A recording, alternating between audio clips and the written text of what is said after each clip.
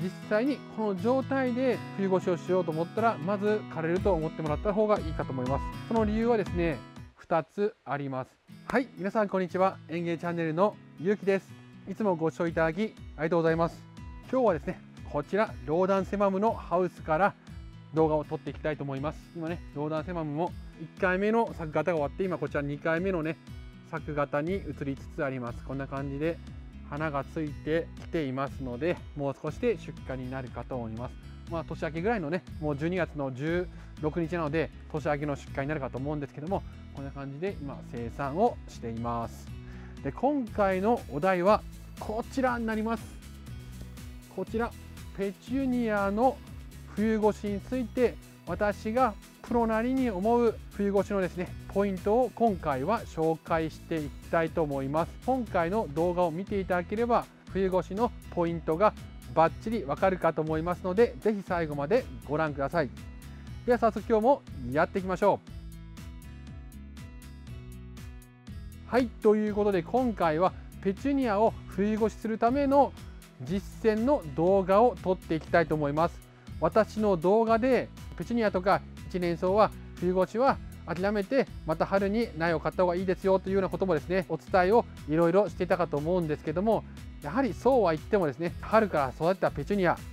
多分皆さんのところでもこんな感じですね大きな状態でなっているとこれをねこのまま捨ててしまうのとてもかわいそうに思ったりとかもったいないなと思われる方が多いかと思いますなので今回はこちらねペチュニアのアモーレ。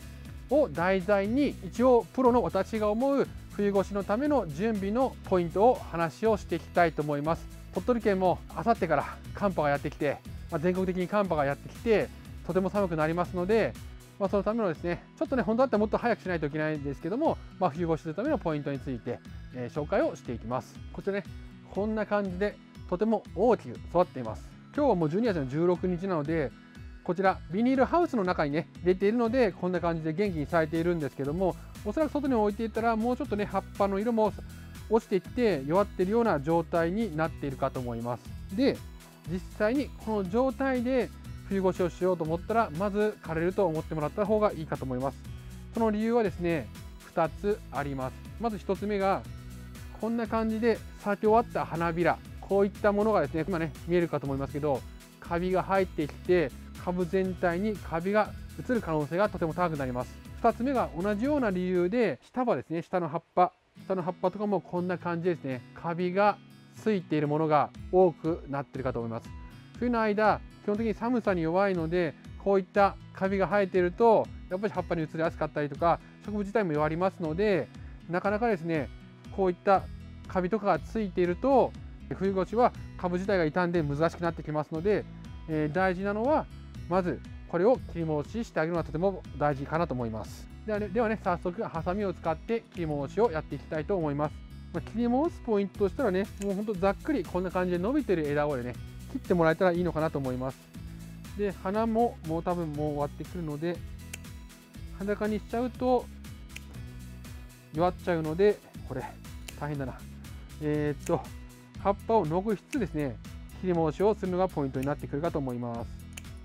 できるハサミはね基本的には消毒をねしっかりしていただいて洗ったりとかしていただいて病気がね移らないように管理をするのが大事になってきます。特にね怖いのはウイルス病がペチュニアとかの場合怖いのでその辺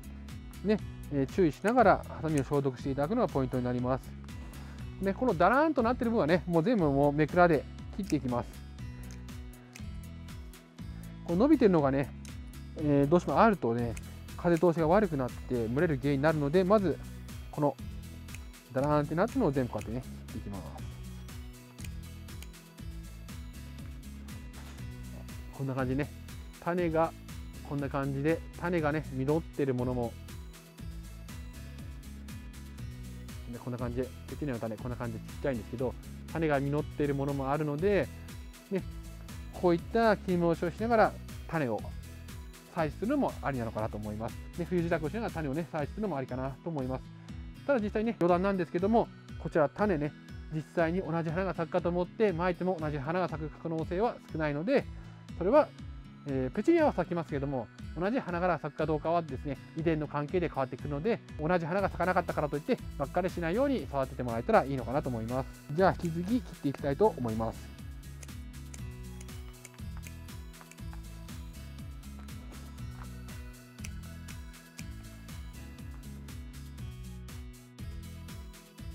ね、こうやってね準備してあげないとね一気に多分ね弱るとき弱りますんでね。皆さんも準備冬越しするならねこんな感じで切り戻していただいて準備が大事になってくると思いますんでお願いします。見てください。こんな感じね枯れ込んでますよね。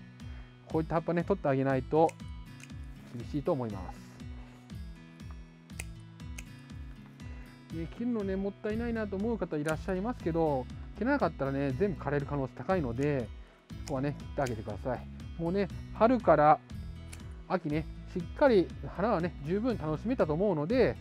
まあ来年のためのね手入れと思ってね切ってもらえるといいと思います。お庭ではね今冬のパンジービュラとかがペチュニアとかの代わりに咲いてくれてると思うのでこんな感じでね切ってあげるのが大事かな。はい。こんな感じで周りをざっくり切りました。で次はですねこちら上にだなってこういった伸びてるね枝を切っていきたいと思います。コンパクトにするのはとても大事になってくると僕は思うのでこんな感じで。細い穴のはね根元から切ってあげてもいいかなと思います。葉っぱを全部切らずに残してあげるように注意してください。結構ね種がついてますね。私は取らないですけど、ね、私が今回は取らないですけど、種もたくさん取れると思いますね。ちょっとぐらいね、折れちゃっても仕方ないので、切ってあげましょう。ね、あったかい地域だとね、まだペチニアガンガン咲いてるかと思いますけど、おそらく今回の12月18日ぐらいに来る寒波で一気に、ね、弱ってきてしまうんかなと思ったりもしますね。ねこんな感じで水ぼらしくなってるように見えますけど、またね、新しく新芽出てきますんで、えいやーと思って切っていきましょう。あとね、こうやった枯れ込んでる枝も出てくると思いますので、こういった枝もですね、切ってあげてください。こういったのもかける原因になりますので、切っていきましょう。ね、こんな感じで切っていきます。で、あとはこのついてる葉っぱとかゴミなどをね、しっかり取ってあげるのがとても大事になりますので、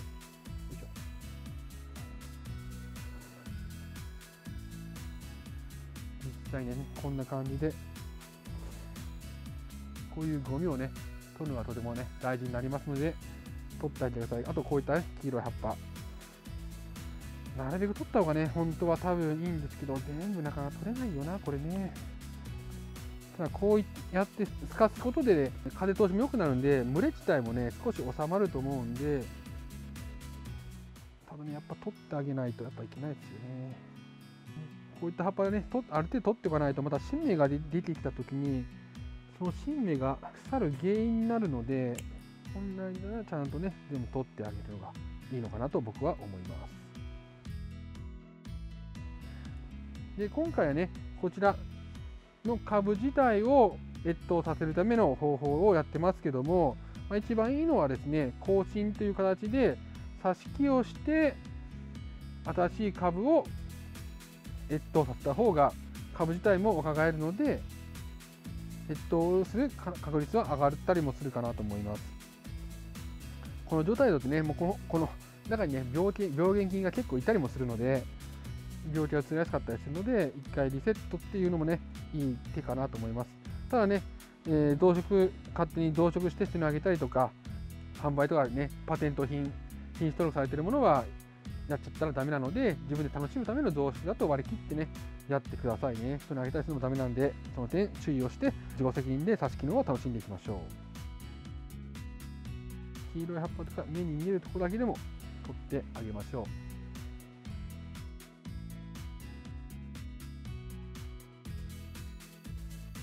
あとねこういった花柄。花のついたこちら花柄もね、えー、取ってあげると腐れる原因なくなるのでなんかもう腐れを腐らさないために腐れる可能性があるものは全部排除するっていうのがね分かりやすくていいかもしれないですね。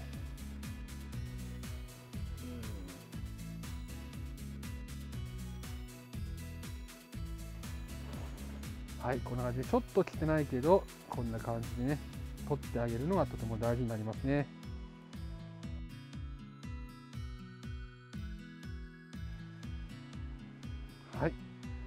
ある程度 OK ではないでしょうか。はい。はい。こんな感じではい。こんな感じでねほんともうほんと丸裸にしたような感じで坊主にしましたけどポイントは葉っぱをねちょっと残すのがとても大事になってきます。それなんでかというと葉っぱは植物のエネルギー工場なので葉っぱがなくなっちゃうと、ね、ペチュニアがエネルギーを作れなくなってしまいますのでこんな感じで葉っぱをちょっと残してやってあげるのと葉っぱを全部取ってしまうのではその後の生育の差とか越冬できるかどうかも変わってくるかと思いますのでこんな感じで葉っぱを残して汚い葉っぱとか花柄とかをきれいに取ってあげるといいかと思います。これで実際に切り戻しが終わりました。でこの後なんですけども虫がですね食べたりとかそういった食害などの可能性は虫による被害は今12月に入って気温がとても寒いのでほとんどないかと思います。逆に気温が寒くて弱って病気になったりとか湿度が高くて病気になりやすかったりする可能性が高いので病気の予防のスプレーをですね起毛した後にシュッシュッシュッシュッと全体葉っぱの表だけじゃなくて葉っぱの裏にもかかるようにしてあげると病気の予防にもなりますのでそうしてあげるのがいいかと思います。でその後実際の管理について話をしていきたいと思います。でこういったハウスでね育てると絶対まあそれは越冬はするので実際にこの植物このペチュニアね実際に私の住んでいるですね家の玄関のところにね軒下に置いて管理をしていきたいと思います。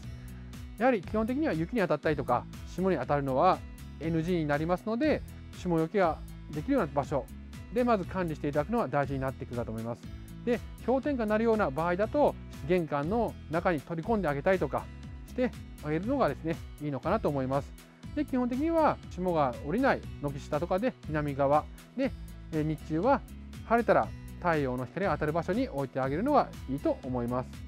で一番大事になっていくのが次の水やりです。水のやりすぎはですね控えるようにしてください。それは何でかというと2つ理由があります。まず1つ目植物自体がやはり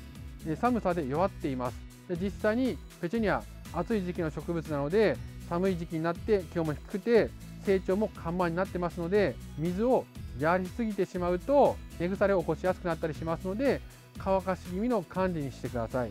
ある程度ね乾かし気味の管理結構ね乾いても冬の時期気温がそこまで上がらないので十分持ってくれるかと思います。逆にたくさん水をやってしまいますとなかなかですね気温が上がらずに中の水が抜けにくくなって弱る原因になりますので注意してください。で2つ目の理由。やはり水があるとですね植物体内に水分も多くなります。たくさん水があると中の入った水がですね寒さ室内に取り込んでたりとかしてマイナスにならない場合は問題ないんですけども、えー、寒いところにずっと置いているとそれは凍ったりとかしまって植物の細胞の中から壊死してしまうような可能性ができますのでそういった2つの理由で水やりを控えて乾燥気味に管理するのがとても大事になってくるかと僕は思います最後に肥料について話をしていきたいと思います肥料はですね基本的にはほとんどやらなくていいです私がもしやるとしたらですね観光性の置き声をこの場合はもうポツンポツンポツンポツンポツンと、えー、置いてやるぐらいです。で速攻性の置き声はやらないようにしてください。なんでかというと速攻性の置き声をやったとしても気温も低いですし植物自体も弱ってますのでそこまでエネルギーに肥料が使われないです。夏と違って全然使われないので逆に肥料が濃すぎて根が焼けてしまう原因になりますので注意をしてください。ああと補足で水やりする場合は植物の上からかけるんではなくて株元葉っぱとかにね水分がつかないように水をあげるのも病気になる原因を予防できますので大事になってくるかと思いますでそんな感じで肥料をやってやる場合にはやりすぎないのを注意してください。で液体肥料をやる場合も規定の倍率が1000倍だったら1000倍ではなくてさらにね2倍薄めて2000倍などのちょっとね薄めの液体肥料を与えるのがいいのかなと思います。それもさっき言ったように